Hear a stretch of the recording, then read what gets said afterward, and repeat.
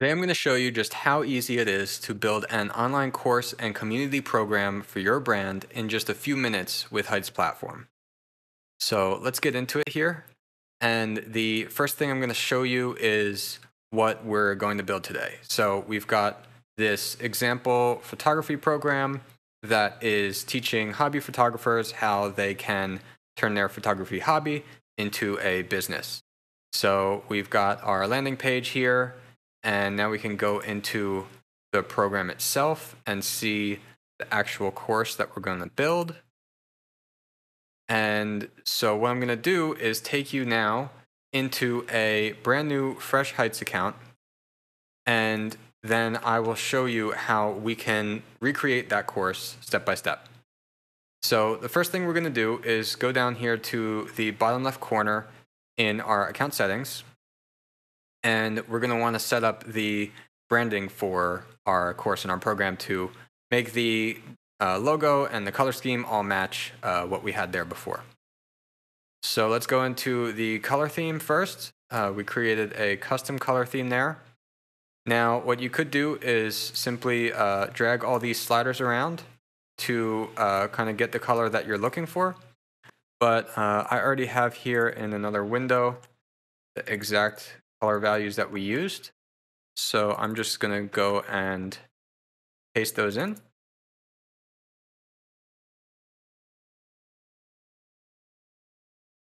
All right, and then hit apply.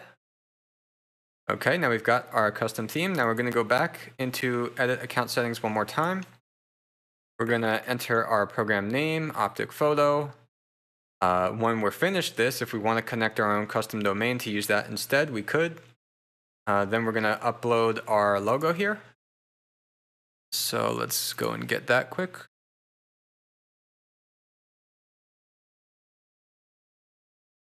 Okay, and we could also optionally choose a custom font that would apply to the lesson and course headers. Uh, for now, we're going to leave that.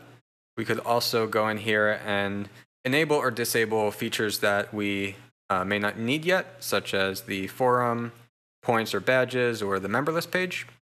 Um, but for right now, that all looks okay. So we're going to hit update account settings. And now we've got our logo here, and this is looking uh, pretty much like our brand, which is great. So to start creating the content now, the first thing we're going to do is go up here to what we call the climb outline feature in Heights. And this is a really powerful feature because a lot of creators, when they get started, you have all these different ideas of what you want to potentially teach or offer your students or members. And it's kind of difficult sometimes to figure out, well, where do you start? You've got all this content that you've got to create. How do you structure that? So what we like to tell our creators is to go to this climb outline first, which will let you sketch out the outline for your course, your modules, your lessons, and then that will also give you a nice starting point for yourself when you have to go and write out some content or record some videos. Now you'll be able to just go through each lesson by lesson and know what you have to make. So we're going to start by creating a course here. We'll call it uh, Hobby to Business. We'll leave the description blank for now. We can always uh, add a bunch more details to the course later and set a price for it. And so now we've got our course here. Now the first thing we want to do is add a lesson. Just to save time, I'm going to paste in uh, some of the lesson names. So we'll click the plus button. I'll paste in our first lesson name, uh, differences in hobby versus professional photography. Create a couple more here. And one more.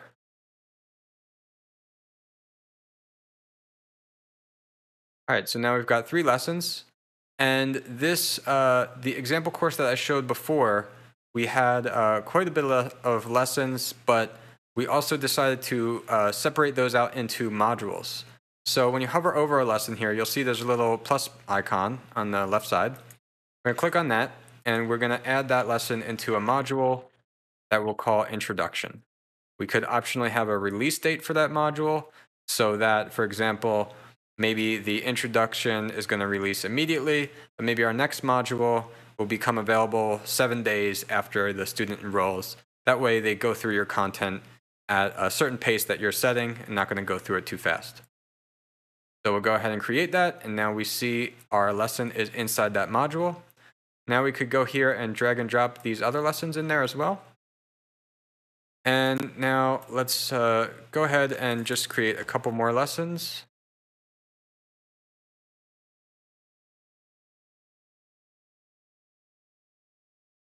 All right, there we go. So now we've got a couple more lessons and we could uh, optionally put these into a module as well and then separate each of those lessons into a module. If we decide we want to uh, reorder them later, we can go and drag and drop those or move something uh, out of the module uh, back into the regular lesson list. And then we could go ahead and create some more courses here if we wanted, uh, reorganize those. We could create a project for our students, a digital product for our students to potentially purchase. Um, but right now, let's go into one of these lessons that we created and I'll show you how the lesson editor works. So now we're in the lesson editor for this course. We can see all of the lessons we started here on the left side. And now here is where you can add the actual content for your course. So we could go ahead and add a description here, and we could type in some text here. We could go here and add some images that we want to upload. We could even search uh, Unsplash or photographer, for example. We probably have our own photos if we were a photographer, but when you want to have some uh, other quick photos just to add interest to your course, you could go ahead and uh, add those really easily, um, all free here from Unsplash. And now we'll scroll down a little bit. And now we have uh, lesson type options. So by default, when you create everything in your outline, it is starting as just a text and image lesson. But we could go here if we want and upload a video to our lesson. We could add an assignment question that students will have to answer before they can complete the lesson. We can add some download materials, either by uploading them or via a URL. And we could even add a audio file to the lesson if we want. Then we've also got a thumbnail for the lesson and uh, points we can add if we want to award points upon completion of this lesson. And then similar to the release day on the modules, we've got a release day for lessons as well, and the option to uh, require the unlock of this lesson by the completion of the previous lesson if we don't want students to just jump around randomly through different lessons. And then finally, when we're all set, we could go ahead and publish this lesson. So we're going to go up here, save our changes, and we don't have too much here yet, but now if we went and clicked up here to view this, now what we're viewing is what we actually created. And so we didn't add any text or video yet, we just added this photo, but this is what your student would actually see. So now we're making progress at creating our actual course. If we go into the course itself now, we could add some more details. So here, before we skipped adding the description of the course, we could add that now if we wanted to. We could upload a cover image for our course or we could search on Unsplash for that as well. And then we've got the option to add a preview video for the course if we want to kind of, show uh, people what the course is going to be about before a student goes to purchase it. And up here, we've got the option of selling the course. So by default, this course is free or included with the enrollment purchase, but we could optionally set a price for this for students to buy. And then we could also enable the landing page for this course and allow it to be purchased from that landing page.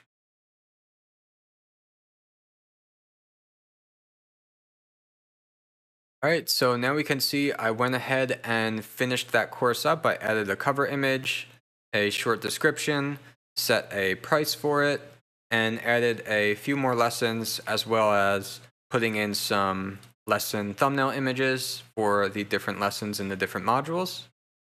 And now besides courses, we also have the ability to go here and create a project for our students.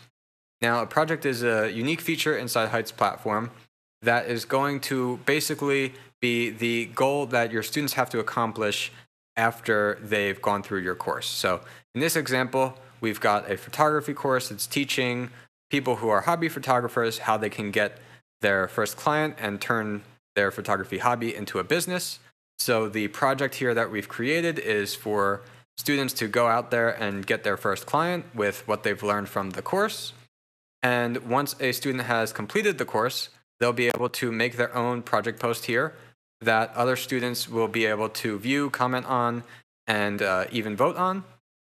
And uh, this is a great feature because it not only helps students to actually implement what you had to teach them, but uh, it allows your students to learn from each other as well. Because maybe you teach one strategy, but maybe your student finds out actually another way of going about things, and your students can kind of learn from each other and bounce ideas off each other as well.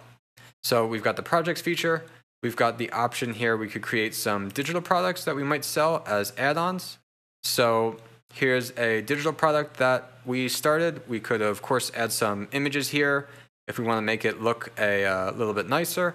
In this case, this would be selling a download. So this is a filter presets pack that you could download for uh, your photo editing software that could be sold as an add-on to your course.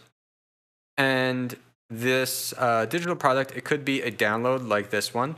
It could also be something that's like a coaching service or a live or uh, online event that you want to hold with your students and you want to allow them to purchase in addition to your course. And after that, we've also got the optional discussions uh, section here where you can create message boards for your students. And uh, by default, any message board is accessible to any student in your program. If you want to restrict one of those message boards to a specific course, so students would have to own that course, um, you can do that via selling a bundle inside Heights. But here we could go and look at an example message board thread that uh, students have created where students will be able to kind of interact with you and each other here.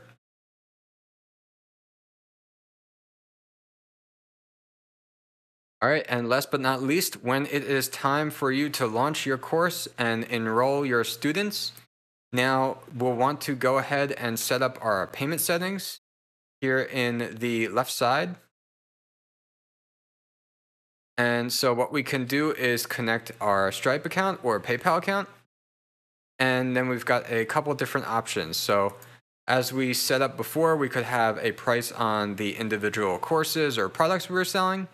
We could optionally charge for enrollment here in our program pricing. If you want to have a single kind of membership site where students pay to enroll and they get access to everything that's included. That could be either a one-time payment, an installment plan, or a subscription plan, or any combination of the three. Um, or you could leave it at free enrollment, offer some free content, some paid courses, and then finally, we've got the option here for bundle payment plans. And bundle payment plans are really awesome because they allow you to create almost any kind of uh, pricing product or pricing strategy that you could imagine. So here's an example bundle that we've got where we've got these couple courses here, these couple uh, digital product downloads, our project, and our message board. And so this could all be sold at a subscription price, a one-time price, or an installment plan price, or any combination of those.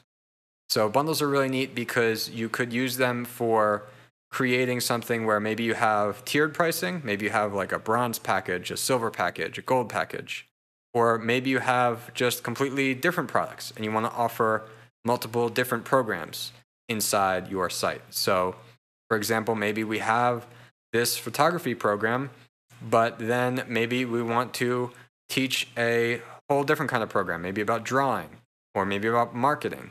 And we could make a separate bundle just for that, that students could optionally purchase. And now, since there are so many payment options here, we do have this uh, handy payment guide tab you can come to, and we'll show you the different pricing options I just mentioned and why you might want to use them and what they can offer you. Um, we've also got some quick video tutorials in here that you can go to watch to learn how to fully set up your program pricing. So I hope that was a helpful introduction to you in how to use Heights. if you have any questions while you're working on your program, you can go up here to the top right and you'll find the relevant help article for whatever page you're currently on. You can also go here to click on the Heights logo in the bottom right to find related knowledge base articles and to reach out to our team if you ever have any questions. And uh, of course, the knowledge base articles can be helpful, but I would always encourage you to reach out to us with any questions that you have because we're happy to help you get set up. And we understand that, especially that period before you launch, is when there are the most kind of moving pieces that all have to come together. And we hope to be able to help you make your vision for your online course a reality. Thank you.